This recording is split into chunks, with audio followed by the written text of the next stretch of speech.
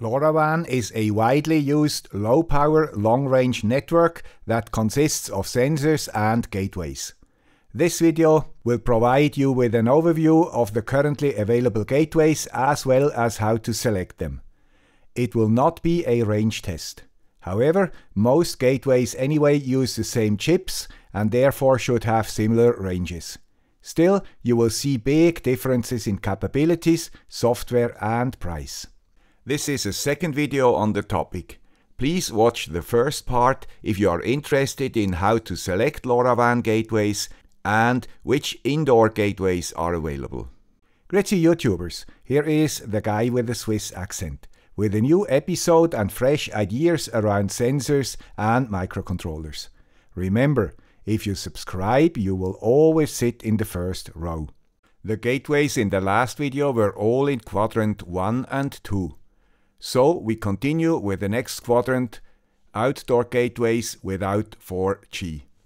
We stay with MikroTik and its wAP LR8 kit.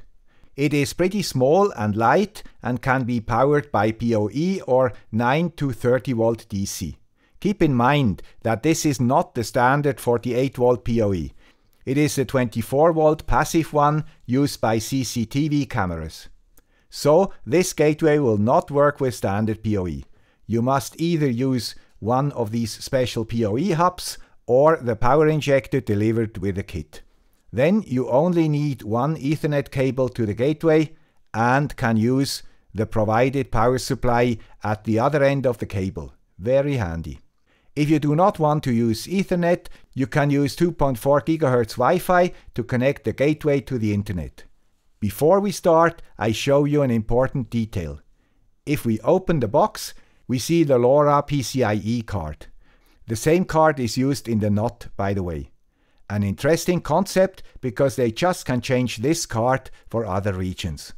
You see that as a default, the SMA connector for the external antenna is connected to the card. We have to change it if we want to use the built-in antenna. As always, Never power these gateways without an antenna connected. Otherwise, there is a chance they will be damaged. For my purpose, I use the internal antenna and connect power to the gateway with a supplied 24 volt power brick. It consumes 2.5 watts. As with the KNOT before, the initial setup is done via Wi-Fi because the Ethernet plug is not enabled as a factory default.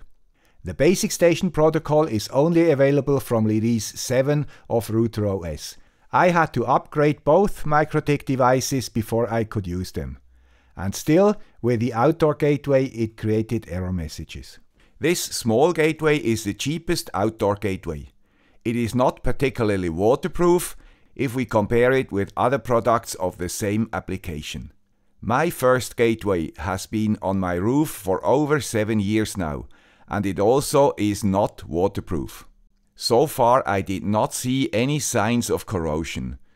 So there is a chance that this gateway also survives, at least in European weather conditions. The next gateway in quadrant 3 is the Wifx L1, a true Swiss. It looks very different from all others. It is hardly thicker than its beefy antenna and therefore extremely easy to mount. This gateway has all the needed features, but not much more. It is sold as easy to manage. And this is absolutely the case. Connected to an Ethernet cable and powered by a passive PoE splitter, it can be reached by its name printed on the sticker. No search for an IP address. Its management cockpit is nicely looking and has everything needed to set a gateway up in minutes. It supports basic station and after it is connected to TTN we get an overview in his dashboard. Nothing fancy, but it's easy to understand. And it comes with another important feature, remote management that only needs an internet connection to work. Also simple and straightforward. The only disadvantage of this little gateway is its price, close to $600. If you only need one or a few gateways and have to pay a technician for the installation, this is the right solution because it does not need much time to install this simple and well documented product. If you are a maker, there are probably better choices. The next gateway is way sturdier and already belongs to the quadrant 4, because it is for the outdoors with 4G connectivity. The HT M2 version 2 from Heltec. It comes in an aluminum case with waterproof power and Ethernet connectors. The antenna connectors are of the reverse polarity SMA type. They probably have to be protected for a long-term installation. Here I prefer the MikroTik version with the SMA connector inside the case.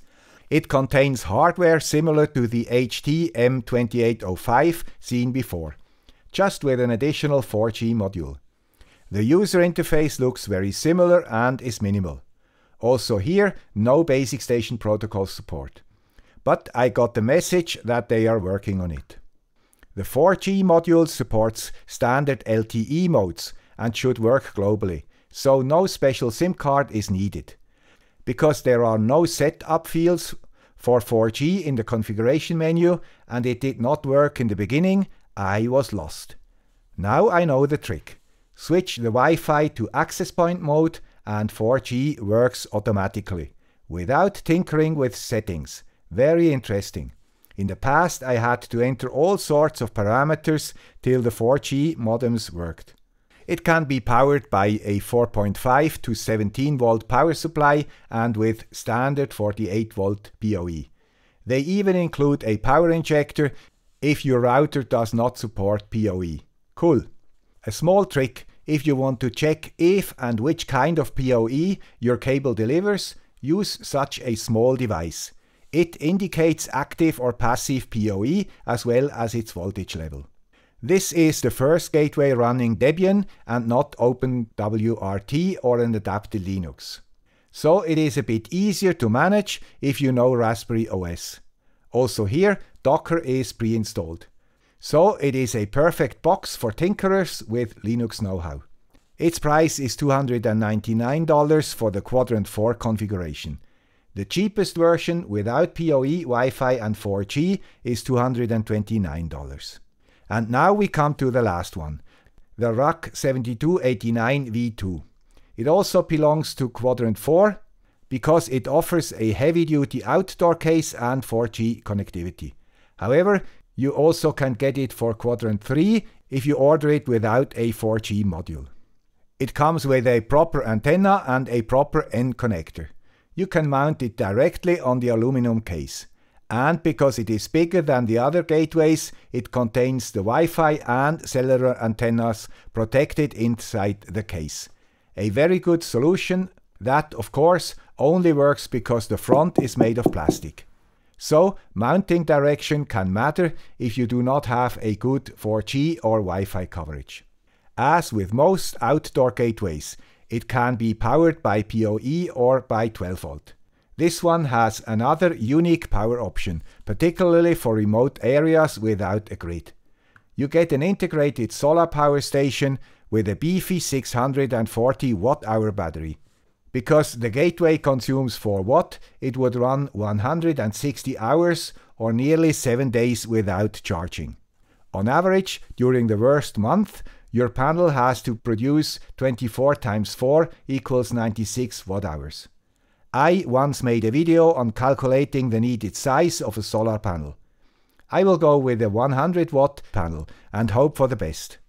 As we will later see, we can monitor the battery remotely. The gateway comes with the same software as the indoor RAK 7268, just with a 4G functionality added. Its price in the Quadrant 4 configuration is $402, including the sturdy antenna. This is the only gateway in this video that offers an option for 8 additional LoRa channels and a second antenna. Because Quadrant 4 gateways are often mounted in remote locations where access is difficult, remote management is most welcome.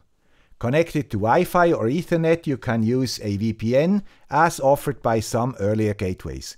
But standard VPNs do not traverse CGNAT used in 4G networks and we cannot connect to the gateway. So the manufacturer has to provide a solution. Or you can watch this video. As said before, RAK offers this functionality separated from the data transfer. You can choose the way you want to transfer the data. Only the management is made via a cloud. For me, this is a good compromise. I would not want an integrated cloud solution where the data is also transferred via the manufacturer's cloud. RAK's management platform is called WisDM, which shows most of the parameters including battery status from far away. An absolute must if you want to manage a lot of remote gateways. These were all the 12 gateways I had on hand. I created a Google Sheet with all the needed information. Like that, you can choose the quadrant and then search according to your criteria. This was all for today. As always, you find all the relevant links in the description. I hope this video was useful or at least interesting for you. If true, please consider supporting the channel to secure its future existence. Thank you. Bye.